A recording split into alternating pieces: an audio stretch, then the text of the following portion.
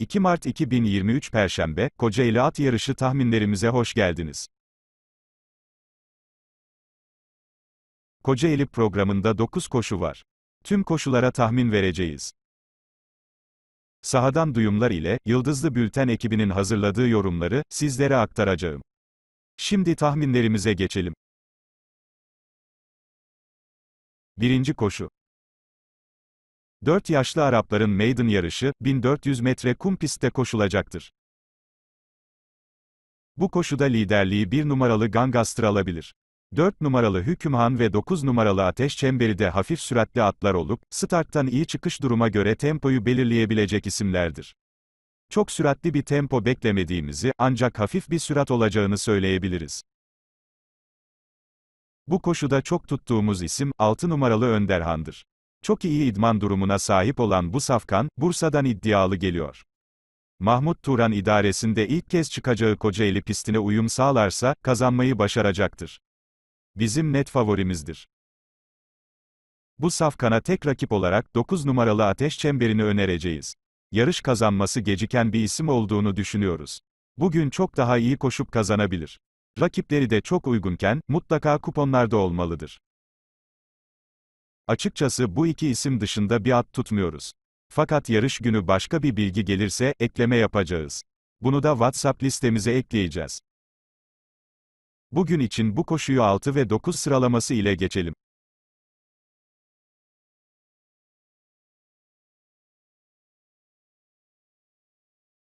İkinci koşu. 3 yaşlı İngilizlerin şartlı 4 yarışı, 1800 metre kum pistte koşulacaktır. 2 numaralı Adal, son yarışını bu mesafede güzel bir mücadele ile kazanmıştı. Çok iyi durumda olan Safkan, yarış hayatı boyunca hep istikrarlı koştu ve üst sıralarda yer buldu. Bugün de kendisi için uygun bir grupta start alacak. Aprantisi idare edebilirse, bu grubu geçecektir. Net favorimizdir. 3 numaralı Plus Ultra ve 4 numaralı Imposter, eşit güçte formda isimler. İkisinin de bu şartlarda iyi koşacağını düşünüyoruz. Özellikle Plus Ultra liderliği alarak yarışırsa, çıktığı gibi bitirebilir. Mutlaka bu atları yazalım. Son olarak, çok sürpriz konumda olan 7 numaralı Amor Fatih yazalım. Bu safkan yarışlarında henüz varlık gösteremedi. Ancak çok iyi bir isim olduğunu ve işlerinde farklılaştığını belirtelim. Bugün iyi işlerini yarışa taşırsa, sürprizi yapabilir. Son sıradan kuponlara eklemekte fayda vardır. Bu koşu için rakamsal sıralamamız 2, 3, 4, 7 şeklindedir.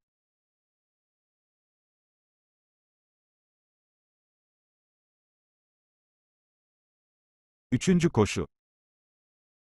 4 ve yukarı yaşlı Arapların kısa vade 7 yarışı, 1200 metre kum pistte koşulacaktır.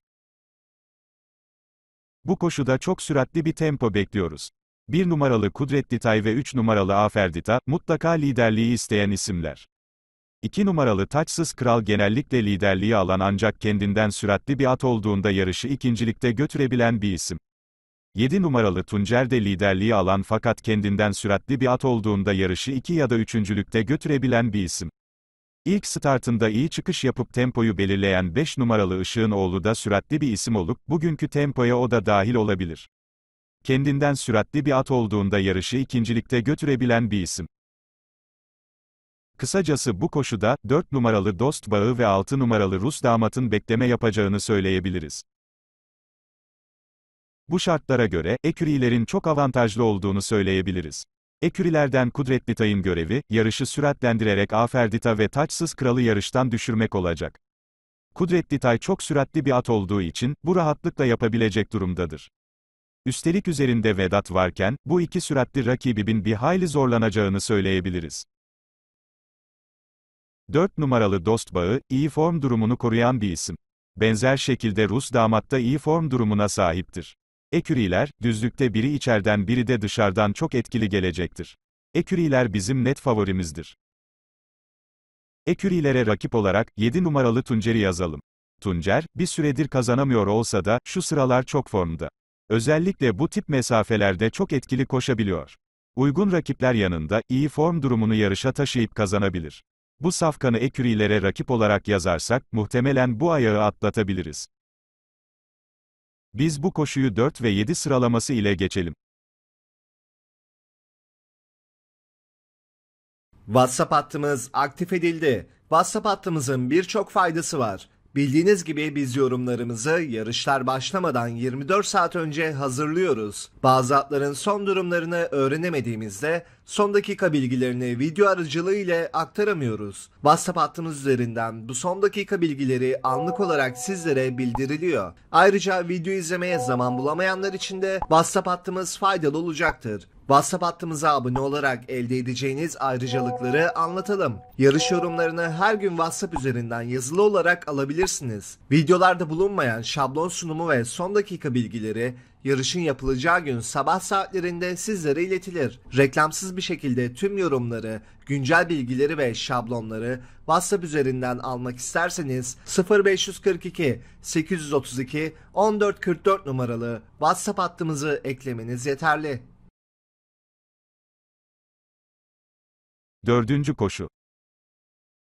4 ve yukarı yaşlı Arapların handikap 16 yarışı, 1400 metre kum pistte koşulacaktır. Bu koşuda süratli bir tempo olacak. Bir numaralı parana mutlaka liderliği isteyen bir isim. En iç kulvardan start alacağı için, liderliği de alacağını düşünüyoruz.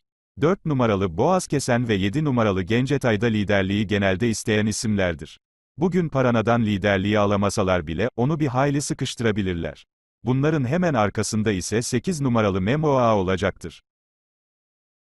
2 numaralı Meltem Kız, bu koşudaki favorimizdir. Bu safkan ağır kilo ile koşacak olmasına rağmen, uygun grupta yarışacak ve lehine bir gidişat olacak. İstanbul'da başarılı yarışlar koştuktan sonra, Kocaeli pistinde kısa vade bir yarışta start aldı.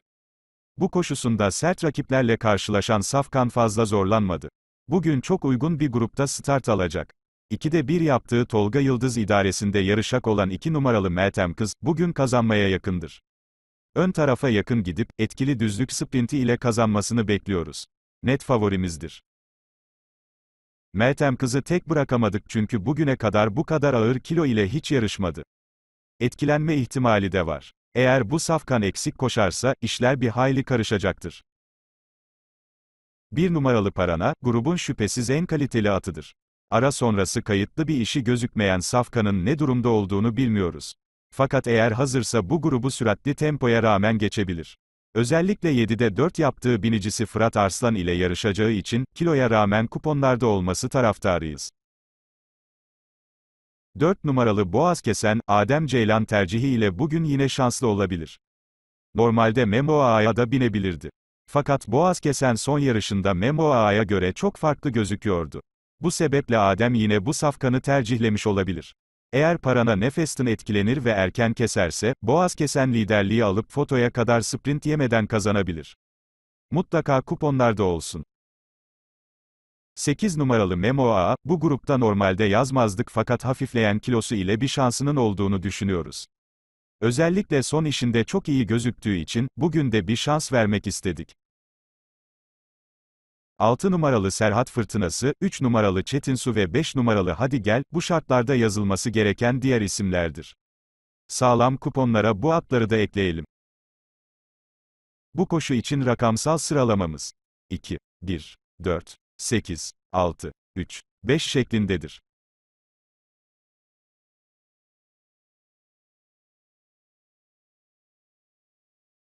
Beşinci koşu 4 yaşlı Arapların handikap 15 yarışı, 1900 metre kum pistte koşulacaktır. Günün en zorlu koşusu burasıdır. Uzun mesafede çok ağır tempolu bir gidişat izleyeceğiz. Birçok ismin önlere yakın yarışı sürdürdüğünü söyleyebiliriz.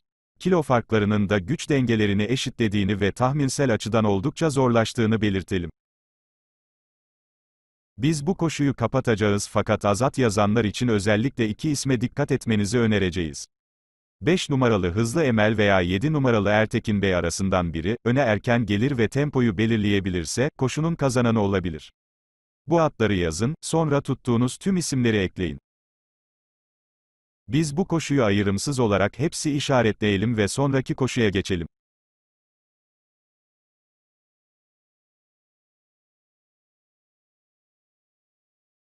Altıncı koşu 3 yaşlı İngilizlerin açık 3 koşusu, 1800 metre kum pistte koşulacaktır. Bu koşuda liderliği 3 numaralı Mirbey alacaktır. 1 numaralı Atlıkaya 4 numaralı My Private ve 5 numaralı Spring Code, hafif süratli atlar olup Mirbey'i yakın takip edeceklerdir. En geride ise 2 numaralı Baba Runner bekleyecektir. 3 numaralı Mirbey, formda olduğu ve liderliği kolay alabildiği her yarışında iddialı oldu. Bugün de rakipleri kendisi için uygun sayılır. Eğer bu koşuda eküri koşan isimler olsaydı, Mirbey için tehlikeli bir durum olduğunu düşünüp yanına at yazabilirdik. Ancak bu şartlarda 2'de 2 yaptığı binicisi Mustafa Çiçek idaresinde, çıktığı gibi bitireceğini düşünüyoruz. 3 numaralı Mirbey, günün bankosu olarak yazılabilir.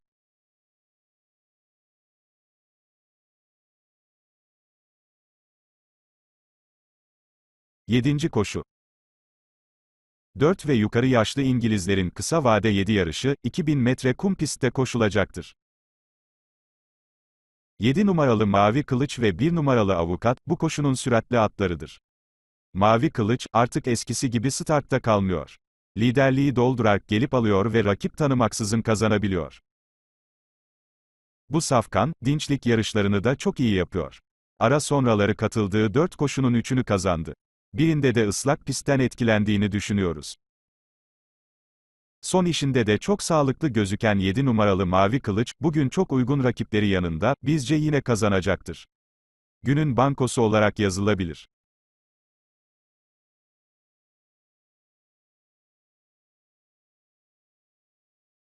Sekizinci koşu 4 yaşlı Arapların maiden yarışı, 1400 metre kum pistte koşulacaktır. Bu koşuda yarış hayatının başından beri takimizide olan bir isim koşuyor. 3 numaralı fukara, çok iyi durumu ile yakında kazanır denilen bir isimdi. Fakat iyi koşsa da bir türlü kazanamadı. Bu atın kazanma karakterinin düşük olduğunu düşünmüyoruz. Ancak potansiyeli de sınırlı bir isim. İyi durumuna istinaden bugün de ilk sıradan yazalım. 9 numaralı Miss Duru'dan beklentiler yüksek. Bugün Tolga Yıldız idaresinde iyi koşması bekleniyor. Kuponlara ekleyelim. 6 numaralı Kızıl Rüzgar, İstanbul'dan iyi doğumda geliyor. Eğer piste uyum sağlarsa, bu rakipleri geçebilecek düzeydedir. İhmal etmemek gerekir. Bu 3 atı yeterli gördük. Rakamsal sıralamamız 3, 9, 6 şeklindedir.